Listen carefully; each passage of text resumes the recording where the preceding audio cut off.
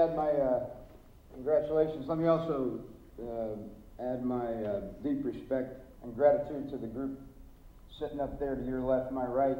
Uh, many of the mentors, to include General Cody, General Gorman, General Peay.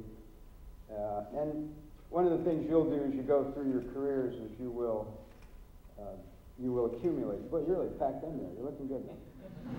but you'll accumulate mentors uh, who who help shape and form and, and make sure that that magnetic true north for you is always uh, the right true north. So thank you to that group over there. Uh, so you, you want to know what it's like to be chief of staff? No doubt. It's pretty cool. um, you know, I got a big house. I walk in the morning. I get up. I walk past the pictures of all the former chiefs, including General Marshall. In fact, um, when I was seeking advice prior to taking the job, uh, one particular individual, fairly senior civilian, said, you know, you ought to get a wristband and put on there, you know, what would George Marshall do? But that's the, uh, you know, that's the reverence in which that figure is held. And now you will forever be known as an, a, a winner of the George C. Marshall Award. So I hope, I hope in some ways that helps you feel empowered. I hope it also helps you feel some of the, some of the, uh, let's call it pressure or burden that you are accepting because it's both really. It's, it's empowering, but I, I also hope that like just before a big game in your athletic career, you get that little bit of butterfly in your stomach because we're going to ask a lot of you. And you're going to measure up. And if you think the things that General Gorman and General Peay and General Cody and General Dempsey have done have been pretty interesting and spectacular, buckle up because I have a feeling that you're in for a ride that will match us and raise us one. Run, run the video for me, will you? Let's see how technology fares today.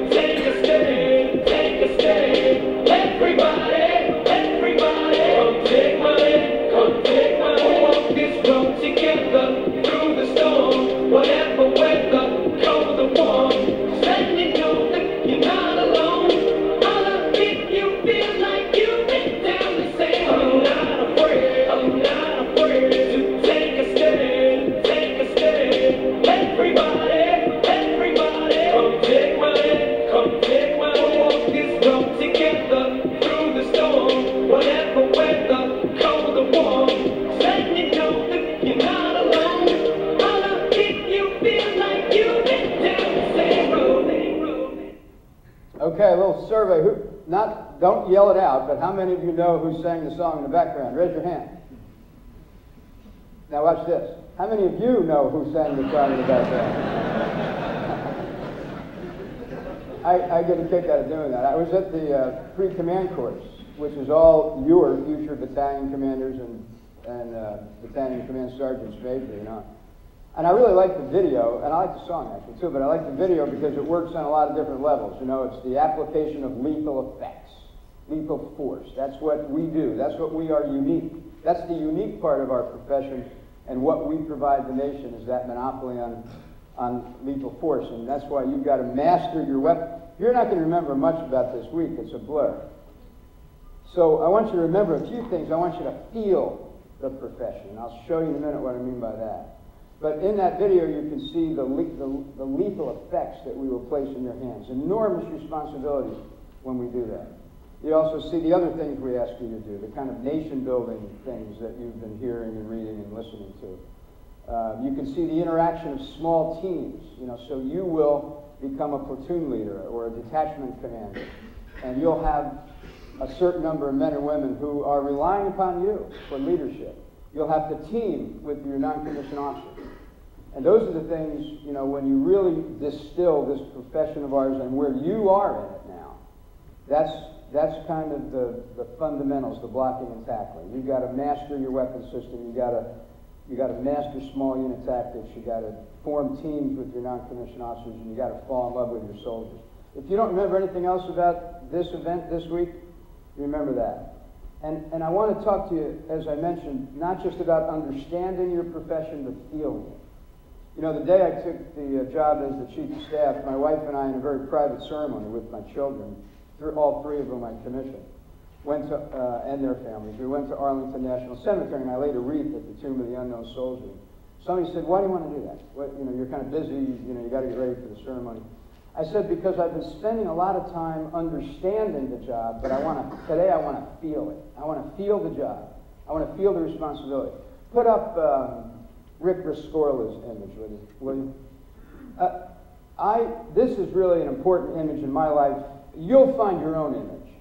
But let me tell you why it's important to me and why something like this should be important to you. Rick Rescorla, if you've read the book We Were Soldiers Once and Young, book about the Battle of the Ia Valley in Vietnam, made famous by the movie We Were Soldiers Once and Young. Um, and uh, this is the picture on the front cover of that book. And it, it, I mean, it's a real life figure. His name is Rick Rescorla. This works for me on a lot of different levels. He was an immigrant. He was a Welsh immigrant that came in the Army. And um, what this image shows me is the sort of competing, almost contradictory emotions that, that exist in our profession. I ask myself almost every day, why does that guy do what I ask him to do? And you should ask yourself, why will those young men and women who are placed in your care, why will they do what you ask them to do? What is it? There's nothing rational about being asked, as he was, to get out of a foxhole or get out of a bunker fix bayonets and move into the underbrush in the Ia Drang Valley in Vietnam. It's not rational. But we do it, they do it because of trust. Some of you have heard me potentially, I don't know, did you, did you all get the letter I sent out when I became the chief of staff? If you have an AKO address, you, you, you should have got it. But I said at the end of that letter that the three things we've got to remember that you can't requisition, you can't put in a, you can't sign a requisition form or get a bag of money and go buy whenever you're asked to deploy are trust, fitness, and discipline. And this gets at all of those, but it really gets at trust. Because the competing emotions in the young men and women that we ask to go to war are mi some mixture of courage and fear, and you can see it. I mean, look at his face. Courage and fear at the same time. It's confidence and it's uncertainty. You know, he's going out to do a fundamentally a movement to contact, an unknown situation and yet off he goes. So why does he do it? Because he trusts. He trusts that his leaders understand what they're asking and have provided the resources and guidance to do it. He trusts the men and women to his left and right. He trusts his non-commissioned officers. He trusts that somebody all the way back to where his family is living has them in mind and is watching their back as well. Kind of this image of the Verizon network as, you, as you've seen it on television. So this is all about trust. It's also about, it's also about a commitment to lifelong service. Here's the rest of the story about Rick Rescorla. He stayed in the army. He survived the battle. He stayed in the army. He got. He stayed in until he made colonel. He got out of the army. Went to work for Morgan Stanley, and became their vice president of security in their New York office in the North Tower of the World Trade Center. And on 9/11, when the first plane hit the South Tower, he was in the North Tower. He immediately began evacuating his employees. And as he did so, he got a phone call from his wife on his cell phone. And his wife said, Hey, I saw what happened in the other tower. I, I presume you are headed for the exits. And he said, No, not yet. And she said, What are you nuts? What, what are you doing? He said, I have to get my, I got to get my people out. So he stayed in the tower. He evacuated about 2,500 out of 2,700. The tower collapsed and he was killed. He was given a medal for that effort by the Medal of Honor Society. And what does that tell you? that you're a soldier now for life. You're a leader now for life. You are a leader of consequence for life. You have to make a difference. People will expect you to make a difference because they know you've taken that oath, you've sacrificed, you've, you've decided to live an uncommon life. You are now a soldier, and a, well, I see we've got some non soldiers here, but you are a leader for life. And that's the way you need to think about yourself. And you need to live up to this to this uh, award you've been given and think about what it means. Feel it. That's what I'm asking you to do. And if this doesn't make you feel it, you're probably in the wrong line of work. But I'll leave that for you to decide until you get that first platoon and you see how it makes you feel. Because uh, I think you're going to be truly inspired by it and then by you. Okay, go ahead and turn that slide off. So, um, we got uh, the third image, I think, is the fight scene, but I'll throw that up in a second. So as you go through the week, and I'm going to give you a couple of minutes here to ask me some questions, but I want you to be both thinking about learning your profession, but also feeling. And you're really, you're surrounded by a great group that can help you do that. And as, as I said, if you remember those few words that I've just uttered about the fundamentals, you know, managing your weapon system, building teams, uh, understanding small unit tactics, and falling in love with your soldiers on the one hand, and then that stuff you can't requisition when the balloon goes up trust, fitness, and discipline. And when you get out there and you're wondering, holy mackerel, I got too much to do. By the way, that's always the case. It was the case in 1972 and 74. It is the case in 1991. It's going to be the case in 2011. Time will always be your scarcest resource. Just never forget that if you have a minute on your hands and you're wondering how to spend it, spend it on building those building blocks of your profession trust, fitness, and discipline. And, um, and be the keepers of this profession and the keepers of this title as Marshall Award winners. Okay, put, play the fight scene for me, will you?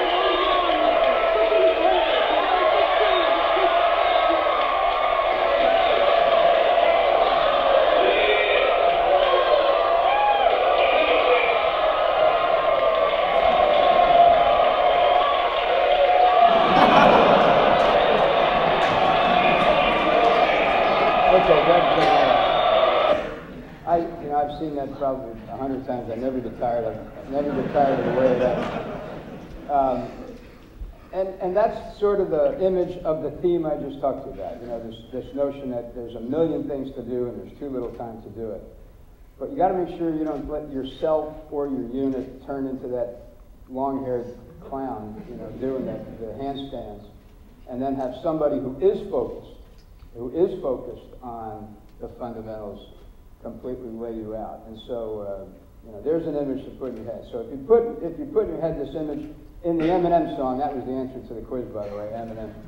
If you if you put that image in mind, this, the lyrics of that song, by the way, is holla. Now I don't usually use holla, but that's, that's not a, you know that's not in my vocabulary, but it is in the song. But holla if you feel like you've been down this road before.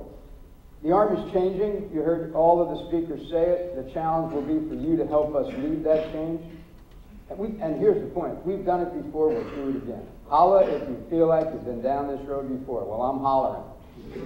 because we have been down this road before, and we're getting ready to go down it again, and we'll go down it. If you end up, one of you end up in the Army as long as I'm in the Army, you'll take us down that road as well. It's, it's just part of the institution we are. So that image of that song and those images of the, of the different things our Army can and must do for the nation, keep that image. Keep the image of Rick Rescorla or one that you substitute, but that constantly reminds you of why you exist. You exist to tell that young man or woman to put themselves in harm's way. So how do you get ready for that? How do you get them ready for that? And then the third one is the fight scene, which is all about the fundamentals. Figure out what is fundamental in the branch you've selected, and don't just be satisfied to get pretty good at it, master it. And mastering requires a degree of commitment and time and lifelong study uh, that you need to put in your rucksack. But as Marshall Award winners, we have every expectation that you both can and that you will. Okay, I'd like to add my congratulations to you.